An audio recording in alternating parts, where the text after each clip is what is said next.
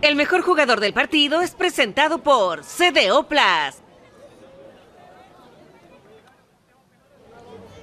Con Franco Becerra, compañeros, goleador de este partido, goleador del campeonato y el mejor jugador de esta gran final. Franco, muchas felicidades. Qué título para Manquehue, ¿no? Campeones invictos en su cancha, goleador del campeonato. Muchas felicidades. Muchas gracias, muchas gracias por transmitir este lindo deporte y en especial esta final con este público que es una maravilla jugar así. Eh, nada, lindo partido, nos tocó partir abajo, eh, nos apretamos el primer cuarto, segundo cuarto lo logramos empatar antes de irnos al, al entretiempo y en el entretiempo cambio de switch, nos pusimos a presionar, jugar mejor con la pelota, definir arriba y se vio reflejado en el resultado.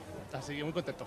No totalmente, nosotros lo comentábamos que a partir del último gol, cuando se finalizaba el segundo cuarto, justamente gol tuyo, comentábamos que Manquehue entró con otra actitud y se vio inmediatamente en el primer minuto del tercer cuarto. Sí, eh, clave, muy importante meter goles al final de los tiempos, eh, te, te, da un, un, cambio de ánimo en el entretiempo muy importante que sirve harto y entrar bien, bien enchufado para lo, lo que queda partido.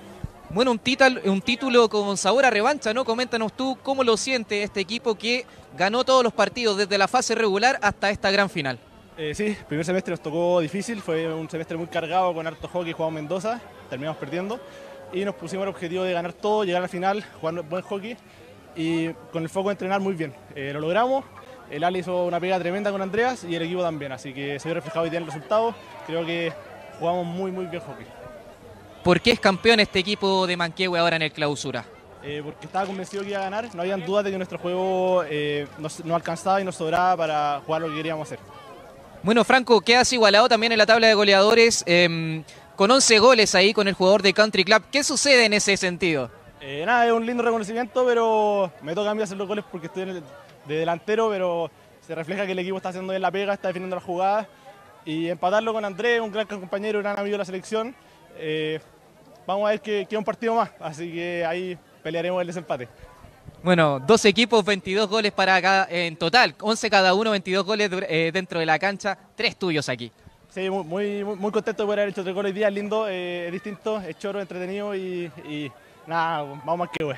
¿A quién le quieres dedicar este título? A todo el equipo, que al área le ha tocado duro, al equipo le ha tocado duro, tuvimos hartas lesiones, tuvimos que recuperar harto, remar harto en contra, pero lo logramos sacar adelante.